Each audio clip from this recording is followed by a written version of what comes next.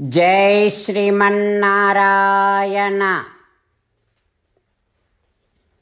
శ్రీమద్భగవద్గీత ఏడవ అధ్యాయము జ్ఞాన విజ్ఞాన యోగము పద్నాలుగవ శ్లోకము. దైవీహ్యేష. గుణమయీ. మమ మాయా. दुरत्यया। मामेव ये प्रपद्यन्ते। मायामेतां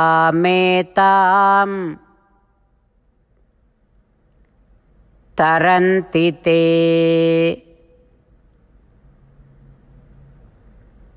व గీతాచార్యుడు శ్రీకృష్ణ పరమాత్మ. అర్జునుడితో పాటు మనందరికీ జ్ఞాన విజ్ఞాన యోగాన్ని ఉపదేశం చేస్తూ ఉన్నాడు. పరమాత్మ అంటూ ఉన్నాడు. అర్జున ఈ సత్వగుణ రజోగుణ తమోగుణమయమైనటువంటి ఈ ప్రకృతినే మాయా అని అంటారు. ఈ మాయను నేనే ఏర్పరిచాను. నేను ఏర్పాటు చేశాను కనుక ఈ మాయ నా ఆధీనములోనే ఉంటుంది. అర్జున ఏ లోకములో ఉండేటటువంటి ఏ ప్రాణి అయినా సరే ఈ మాయ నుండి తప్పించుకోలేరు ఈ మాయను దాటలేరు. ఈ మాయను దాటలేకపోవటం చేత. ఈ మాయలోనే పడిపోవటం వల్ల నా వైభవాన్ని తెలుసుకోలేకపోతున్నారు. నేనే దేవదేవుడనని నేనే సర్వేశ్వరుడనని తెలుసుకోలేకపోతున్నారు. అలా తెలుసుకోలేకపోవటం చేత నన్ను ఆశ్రయించటం లేదు. నన్ను ఆశ్రయించకపోవటం చేత ఈ జనన మరణ చక్రములో నుండి విముక్తులు కావటం లేదు. అంటే ఈ మాయ వల్ల అంతటి ప్రమాదం ఏర్పడుతోంది. మరి మాయనెవరు దాటలేరా? దాటగలరు. ఎట్లా? ఇది నా అధీనములో ఉంటుంది కనుక నేను ఒక్కడిని మాత్రమే దాటించగలను. ఇంకెవ్వరు? ఎవ్వరిని ఈ మాయ నుండి తప్పించలేరు. నేను ఒక్కడిని మాత్రమే తప్పించగలను. అయితే ఏం చేయాలి నువ్వు? కృష్ణ నువ్వే నాకు దిక్కు. శ్రీమన్నారాయణ నువ్వే నాకు దిక్కు అని నన్ను ఒక్కడిని మాత్రమే ఆశ్రయించాలి. అప్పుడు నేను నిన్ను మాయ నుండి దాటిస్తా దాటించటము వలన నేనే దేవదేవుడిని అని పరిపూర్ణమైన దృఢమైన విశ్వాసముతో ఇక నన్నే ఉపాసిస్తావు నన్నే ఆశ్రయిస్తావు ఈ జనన మరణ చక్రము నుండి విముక్తుడవవుతావు. అంటూ శ్రీకృష్ణ భగవానుడు మాయను దాటటానికి కావలసిన ఒక అద్భుతమైన ఉపాయాన్ని మనందరికీ స్పష్టపరుస్తూ ఉన్నాడు. ఆ ఉపాయము ఆ శ్రీకృష్ణ భగవానుడే అని నమ్మి ఆ ఉపాయము ఆ శ్రీమన్నారాయణుడే అని దృఢమైన విశ్వాసముతో ఆ శ్రీకృష్ణ భగవానుడి పాదారవిందములనే గట్టిగా పట్టుకునే ప్రయత్నము చేస్తూ పరమాత్మ పలికిన పలుకులను అదే విధంగా పలికే ప్రయత్నం చేద్దాం. దైవీహ్యేషా గుణమయీ మమ మాయా దురత్యయా మామే వయే ప్రపద్యంతే మాయామేతాం తరంతి అంతేకాకుండా మనం ప్రతిరోజు శ్రీమన్నారాయణుడికి ఒక ఎనిమిది పనులు చేస్తాం అని మాట ఇద్దాం. ఎందుకంటే శ్రీకృష్ణ భగవానుడు పద్దెనిమిదవ అధ్యాయములో అరవై ఐదు నుండి డెబ్భైవ శ్లోకాల ద్వారా శ్రీమద్భగవద్గీత అంతటికీ సారభూతముగా మనకు ఎనిమిది పనులు చేయమని చెప్పాడు. అలా చేస్తే చాలు నేను మిమ్మల్ని అన్ని విధాలుగా రక్షిస్తా అని ప్రమాణపూర్వకముగా ప్రతిజ్ఞ కూడా చేశాడు. అందుకని శ్రీమద్భగవద్గీతను అంతటినీ విన్న తర్వాత అర్జునుడు కూడా చివరకు కరిష్యే వచనం తవ కృష్ణ నువ్వు చెప్పినట్టే చేస్తా అని అన్నాడు కనుకనే. భగవానుడు అర్జునుడికి అన్ని విధాల విజయాన్ని అందించాడు.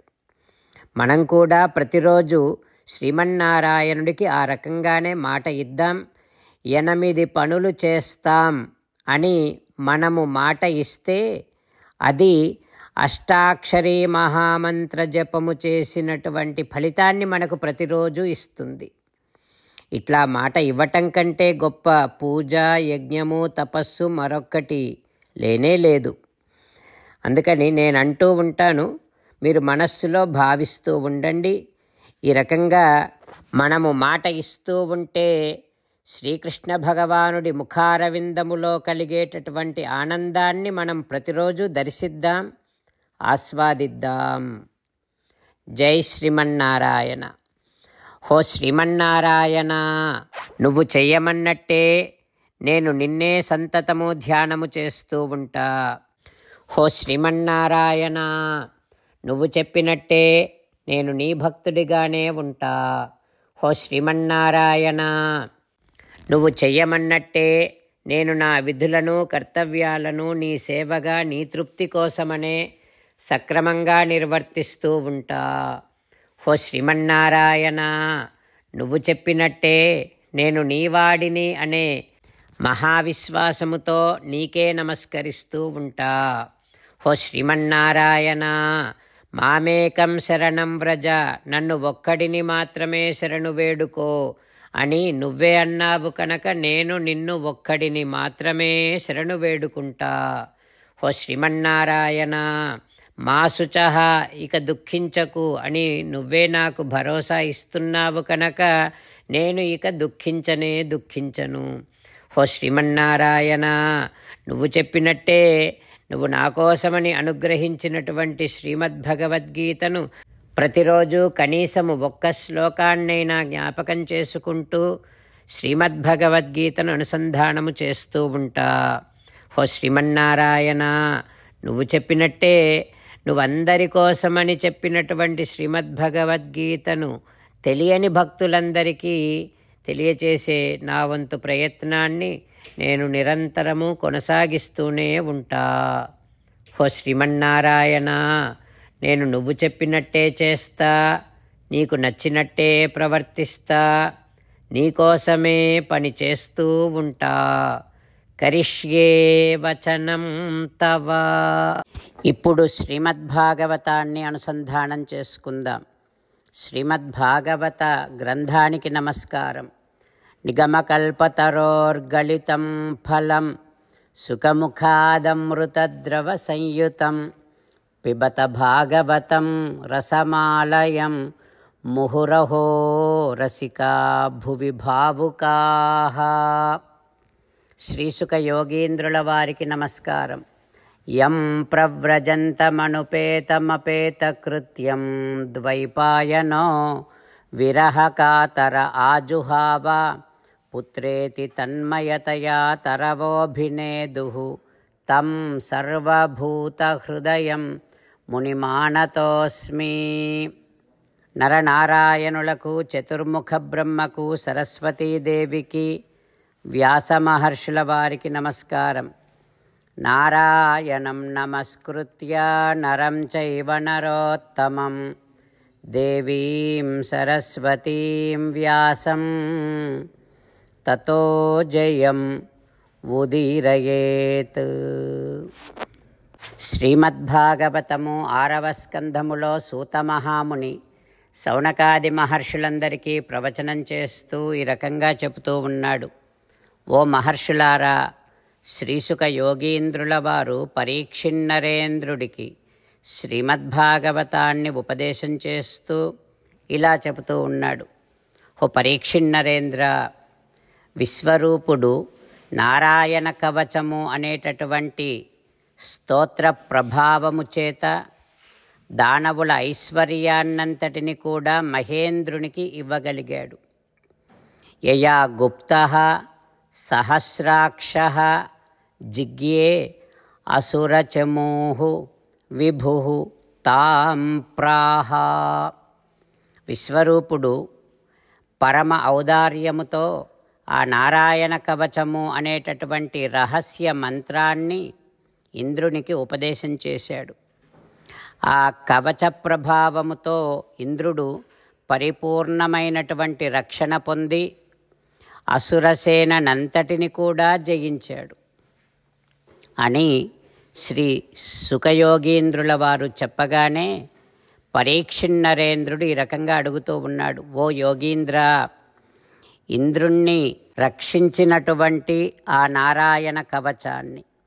ఇంద్రుడు తన శత్రువులందరినీ జయించేటట్టుగా చేసినటువంటి అత్యంత శక్తిమంతమైనటువంటి ఆ నారాయణ కవచాన్ని. ఇంద్రునికి మూడు లోకాల సంపదలను అనుగ్రహించినటువంటి ఆ నారాయణ కవచాన్ని. వర్మ మంత్రనిర్మితమైనటువంటి ఆ నారాయణ కవచాన్ని. నారాయణ ఆత్మనాం. నారాయణ కృపాయుక్తమైనటువంటి ఆ నారాయణ కవచాన్ని. తత్ మమ ఆఖ్యాహి. నాకు వివరించి అనుగ్రహించవా. హో శ్రీసుఖయోగీంద్ర దయతో నాకు ఆ నారాయణ కవచాన్ని ఉపదేశించవా అని పరీక్షిన్నరేంద్రుడు అడగగానే ప్రార్థించగానే శ్రీసుఖ యోగీంద్రుల వారు ఈ రకంగా చెబుతూ ఉన్నారు. ఏం చెబుతున్నారో రేపు తెలుసుకుందాం. ఓం శ్రీకృష్ణ పరబ్రహ్మణే నమ. ఓం అస్మద్గురుభ్యో నమ. ముకుందమాల. కృష్ణో రక్షతునో జగత్రయ గురు. కృష్ణం నమస్యామ్యహం. కృష్ణే నామరశత్రవో వినిహతా. కృష్ణాయ తస్మై నమ. కృష్ణాదేవ సముత్థితం జగదిదం. కృష్ణస్య దాసోऽస్మ్యహం కృష్ణే తిష్టతి విశ్వమేతదఖిలం. హే కృష్ణ సంరక్ష మాం. శ్రీమద్భగవద్గీత ఏడవ అధ్యాయము పద్నాలుగవ శ్లోకము. दैवीह्येषा गुणमयी। मम माया दुरत्यया। मामेव ये प्रपद्यन्ते। मायामे तां तरन्ति ते। दैवीह्येषा गुणमयी मम माया दुरत्यया।